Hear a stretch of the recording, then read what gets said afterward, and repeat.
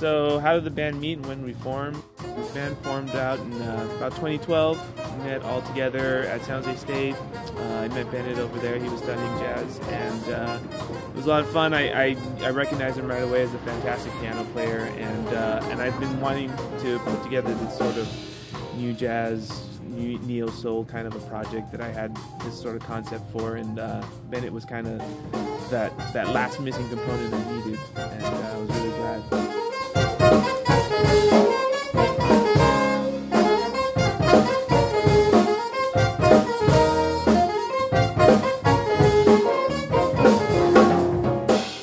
Lot of different styles of music. We try to play um, a lot of the artists that have influenced us at some point in our careers. but it has so many more uh, facets to it uh, with R&B and soul. Hip hop or funk or jazz. Or, all of it kind of mixed we like together. to give credit to the artists while doing our own. yeah. Most commonly, it's shaped by the tunes that each of us bring in. Like, I think that's the most exciting thing is that we all have freedom to share things and try out new tunes. And then, um, as Brian said, like, we put our own spin on it and we're able to bring music, whether it's new or old, to life and even to compositions and stuff. Just having our own bad ones flavor.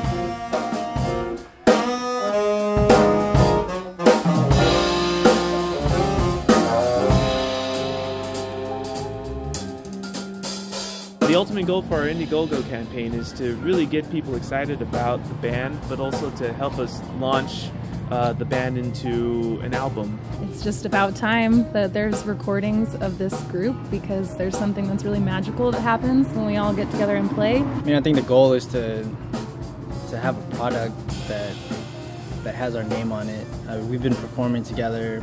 For about three years now, and we're willing to get an album out. You know? Because recording takes a lot of a lot of funding.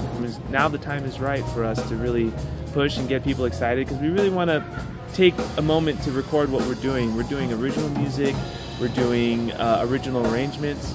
Um, a lot of the members are contributing authors and composers and arrangers, so it's a very important thing to me and for the other members of the band to get recorded and put on an album and released to people.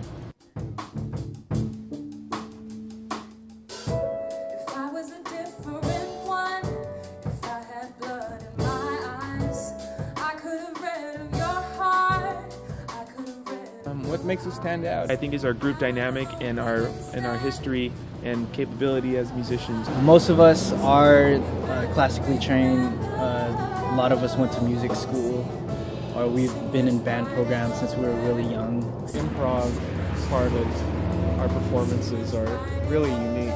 guys like Bennett, uh, great improvisers, arrangers, composers, as is most of the members in the group. One thing is that I think each of the members is really talented, but we also come to the table as very humble people who are willing to shift and grow together.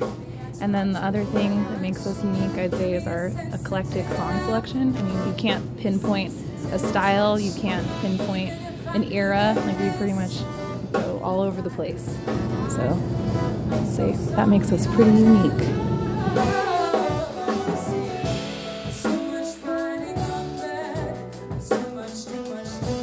We're aiming for a date that can hopefully be uh, available to the public by the time the next San Jose Jazz Festival rolls around. Uh, we want to have this product completed and have it in hand so that uh, it can be a big thing to push uh, both for uh, our groups in the summer to uh, to emerge and really promote and and to just to be able to have something that we can call our own. So look for that sometime in in the mid to late summer of 2016. You can bet that the bad ones.